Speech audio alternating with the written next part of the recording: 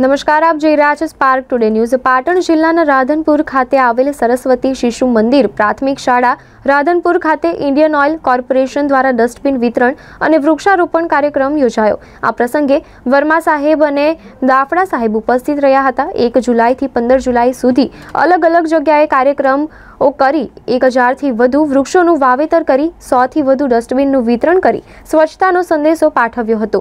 આ પ્રસંગે શિશુ મંદિરના ટ્રસ્ટી કાનજીભાઈ વજાભાઈ ચૌધરી શિશુ મંદિરના શિક્ષકો અને સ્ટાફ અને વિદ્યાર્થીઓ ઉપસ્થિત રહ્યા હતા. આ પ્રસંગે લોકોને સારો સંદેશો પોતે તેના માટે ઇન્ડિયન ઓઇલ લિમિટેડ કંપની દ્વારા ડસ્ટબિનનું વિતરણ અને વૃક્ષોનું વાવેતર કરવામાં આવ્યું હતું. જેવું આપ સૌ જાણો છો કે ભારતની તેલની સૌથી મોટી કંપની જે ફોર્ચ્યુન ફાઇવ હંડ્રેડ વિશ્વની કંપનીઓમાં નામ ધરાવે છે એવી એકમાત્ર ઇન્ડિયન ઓઇલ કોર્પોરેશન તરફથી.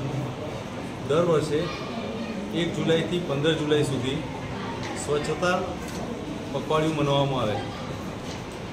દરેક સ્થળોએ અલગ અલગ પ્રોગ્રામ કરવામાં આવે છે, વૃક્ષારોપણ કરવામાં આવે છે, સ્વચ્છતા ફેલાવવામાં આવે છે, સ્વચ્છતા રથ અમે ફેલાવીએ છીએ જાગૃતિ માટે. જાહેર સ્થળો જેવા કે બગીચા, મંદિર, બસ સ્ટેન્ડ એવી જગ્યાએ જઈને અમે સ્વચ્છતા અને પ્રોત્સાહન આપીએ છીએ. ખાસ કરીને સ્કૂલો અને હોસ્પિટલ. આમાં પણ અમે પ્રોગ્રામ કરીએ છીએ.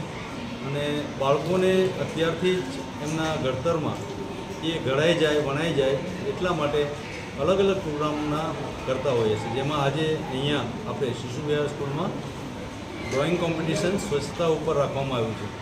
જેમાં શિશુ વિહારના શિક્ષકગણ બધાનો બહુ સારો સહયોગ મળ્યો છે અને સ્કૂલની બાળકીઓ બહુ ઉત્સાહભેર ભાગ લઈ રહી છે, જેવું આપ જોઈ રહ્યા છો કે બહુ સારી રીતે એ લોકોએ આમાં ભાગ લીધો છે.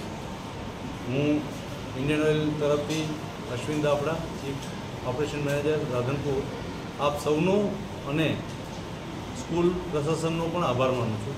અને મીડિયા કર્મીઓને મારી વિનંતી છે કે આ જે આંદોલન ચાલી રહ્યું છે સ્વચ્છતાનું, એને વધારેમાં વધારે ફેલાવે અને વધારેમાં વધારે સફળ બનાવે.